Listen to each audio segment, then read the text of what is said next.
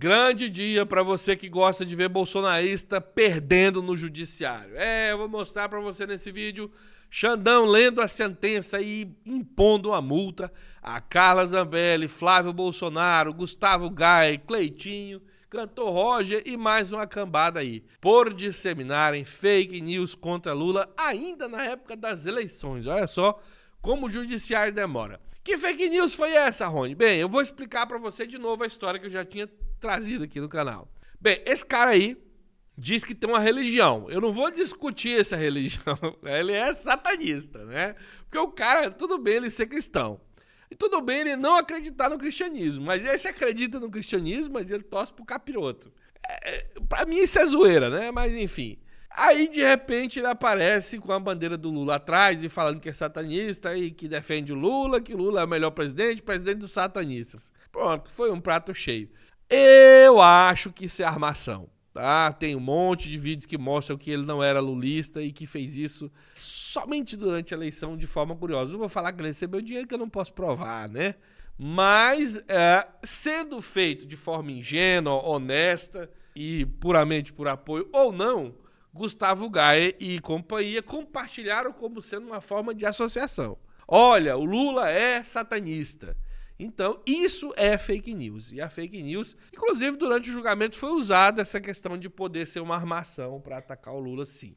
Tá? Foi considerado isso. Armação ou não, a fake news estava divulgada e eles vão pagar por isso. Agora, sem mais enrolações, eu vou mostrar para você o vídeo, já está aí a história. Só peço para que você se inscreva, compartilhe o vídeo nas suas redes sociais, faça parte dessa comunidade que desmascara essas canalices aqui na internet. Antes de mostrar para você o Xandão, tá aqui, ó. Para ficar o critério jornalístico cumprido de forma perfeita, tá aqui, ó. TSE multou em 30 mil reais congressistas que apoiaram o ex-presidente Jair Bolsonaro pela repercussão de um vídeo originalmente publicado no TikTok que associa o presidente Lula a ideologias satânicas.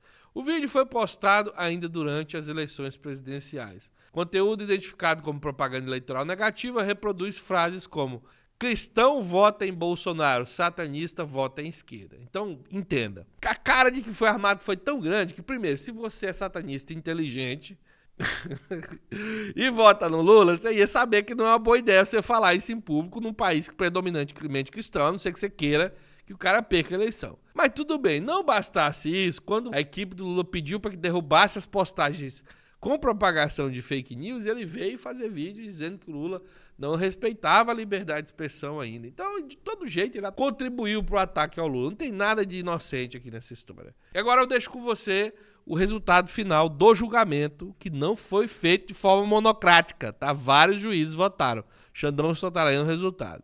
É interessante porque eu aqui posso reiterar o que eu venho dizendo há dois anos, é que principalmente em relação à desinformação, fake news, discursos de ódio, a justiça como um todo e a justiça eleitoral especialmente não pode adotar a política do avestruz, é de esconder a cabeça é, embaixo da terra. Em tese, ministra Carmen, que um, que um, um entendido no assunto me abordou algum tempo ouviu dizer isso e falou que é mentira que o avestruz coloca a cabeça embaixo da terra, que, que inventaram isso que não existe. Mas, como todo mundo acha que é verdade, é uma fake news do bem, né, para fazer é, analogia. É, porque aqui, com todo respeito às posições em contrário, aqui não só as pessoas envolvidas, é, como o ITER, procedimental é exatamente igual ao que o famoso gabinete do ódio faz há seis anos.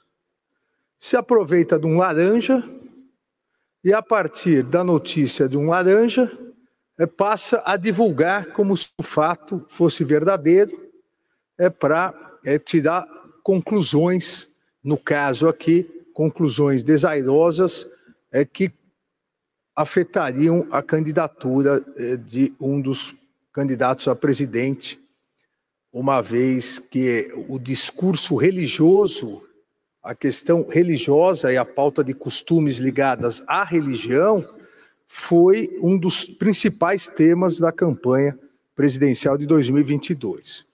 E, e vejam o porquê exatamente esse item é absolutamente idêntico. O, o satanista referido aqui, é, durante, é, antes desta postagem única, ele já tinha várias postagens, inclusive uma entrevista no canal Supersônico Cast no YouTube, declarando claramente a sua antipatia à candidatura é, do então candidato Luiz Inácio Lula da Silva. E nessa entrevista que ele deu nesse canal Supersônico Cast, que eu nunca ouvi falar, é, chegou inclusive a comparar é, as condutas do então candidato Luiz Inácio Lula da Silva é, com as condutas nazistas. Isso foi salientado no parecer da Procuradoria-Geral da República, é, que pugnou pela procedência total da representação.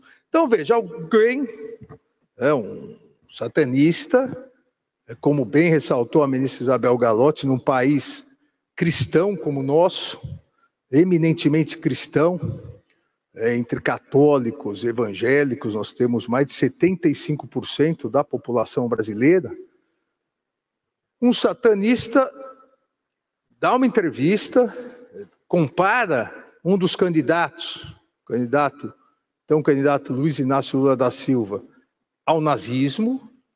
De repente, ele, não podemos dizer que ele viu Deus, porque ele é, é, não viu uma luz, porque ele é satanista, então ele viu o demônio, é, e mudou de ideia. Ao mudar de ideia, ele posta no meio da campanha, um apoio a quem ele comparou ao nazismo. E por incrível que pareça, todos os representados, apoiadores do outro candidato, que nunca, nunca tinham compartilhado uma notícia dele, de repente ganham um interesse gigantesco a compartilhar essa notícia. É uma série de coincidências satânicas é, que levam à conclusão de que, óbvio que isso é uma armação, óbvio. Dois terços dos representados são investigados nos inquéritos dos atos antidemocráticos e das fake news, exatamente por fazerem isso.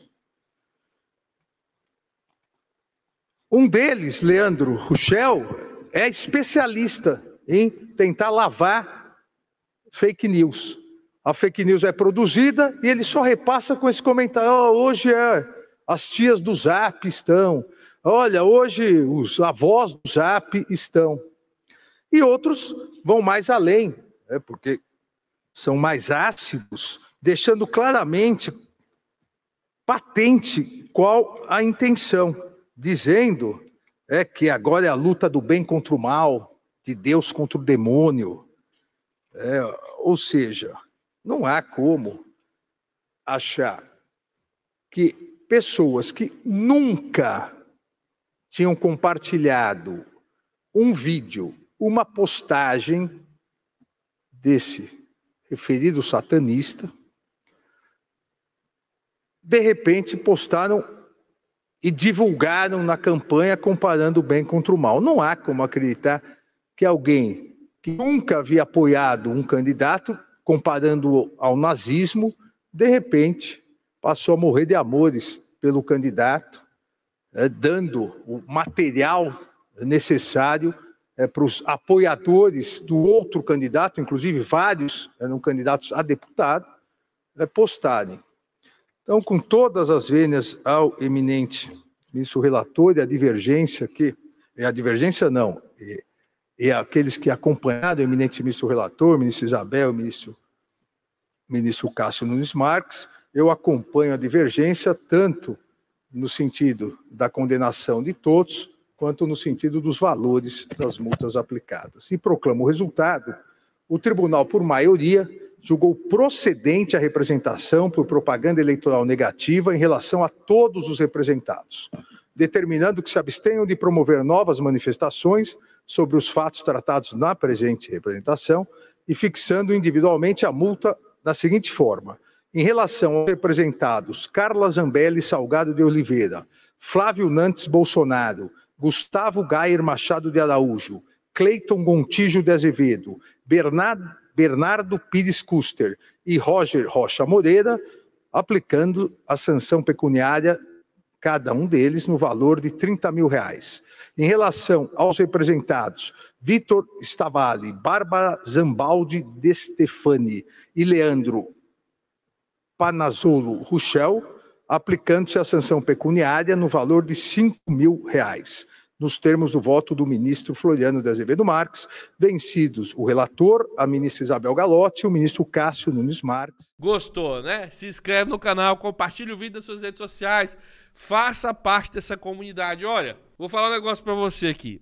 Nós estamos criando um grupo de respostas rápidas aqui no canal. Como assim, Rony? Nós fizemos umas experiências hoje mais cedo para responder postagem, também tem essa questão de votar no IBEST. De forma geral, eu acabei constatando que é importante ter um grupo de pessoas que está sempre no WhatsApp, disponível para que a gente possa responder postagens do inimigo, do adversário, ou fazer votos e enquetes de forma mais ágil. Pessoa que queira saber o que está acontecendo para reagir. Então, se você quer fazer parte desse grupo, eu vou deixar o link aqui embaixo. Vai lá no WhatsApp, entra nesse grupo, faça parte dessa comunidade. Vou botar umas mil pessoas lá, para que toda vez que alguém publicar uma fake news, a gente corre lá e desmente. Beleza? Um abraço, fui.